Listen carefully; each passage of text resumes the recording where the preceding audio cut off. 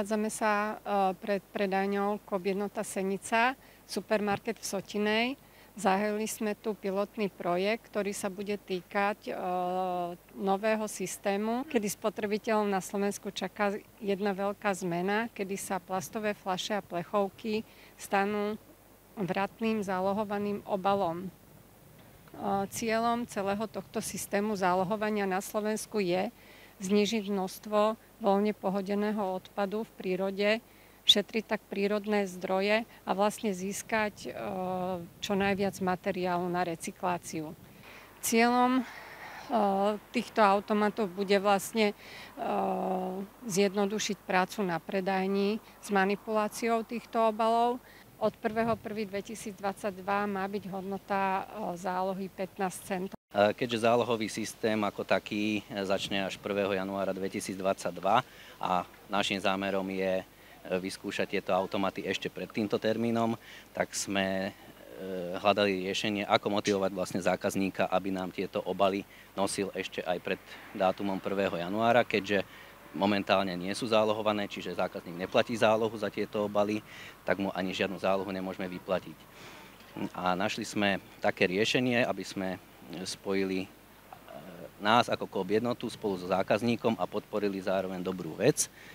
A to takým spôsobom, že vyplatíme za každý vrátený obal, čiže aj e, PET flašu, aj plechovku, nie zákazníkovi, ale podporíme projekt mesta Senica s názvom Čo žije v našom parku a takýmto spôsobom motivujeme zákazníka, aby tým, že chce podporiť tento projekt, nosil tieto, e, tieto obaly e, k nám do automatu a takýmto spôsobom sa pričinil aj k tej ekológii a vyčistili sme ešte pred prvým prvý trochu našu planétu od obalov, ktoré niekedy končia bohužiaľ v prírode. Boli by sme radi, ak by sa nám e, podarilo zrealizovať e, do parku knížka typu Leporela a následne by si e, v tom dokázali listovať a teda pozrieť si, čo nám v našom parku žije. Očakávame realizáciu na jar budúceho roka základná informácia pre ľudí. V akom stave musia byť tie plechovky a takisto tie PET flaše a asi bude aj rozdiel v tom, keď ich budú zbierať prostredníctvom automatu v týchto veľkých predajniach a potom, keď budete mať dozber v menších, tam asi budú môcť byť aj stlačené? Na všetkých prevádzkových jednotkách budeme realizovať odber na zálohovaných obaloch rovnako.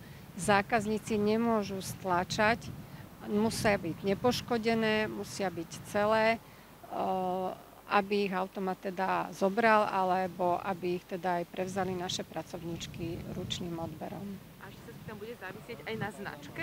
Že iba také, čo sa predávajú v predajniach, alebo môžu to byť nie, Nie, nebude záležať. Bude dôležité to, že plastová fľaša a plechovka musia byť označené e, z ktoré bude e, tento symbol označovať zálohovanie a samozrejme bude táto informácia daná aj do kódu. Koľkých predajní sa to v tej finálnej fáze bude týkať?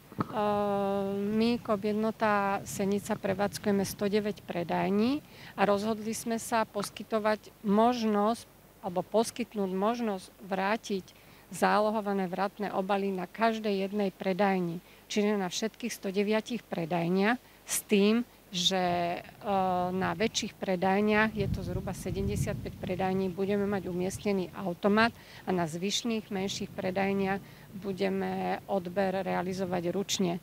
Chceme byť tak bližšie zákazníkom a poskytujem túto službu aj na dedinách, nielen vo veľkých mestách. Aká je to proste investícia pre spoločnosť, keďže to je asi nemalá investícia a teda čo v tom vidí, prečo sa takto rozhodlo? Celková investícia do prípravy zálohového systému nás ako za Kobenotu Senica za všetky predajne bude stáť cca 1 600 000 eur na nákup práve týchto automatov.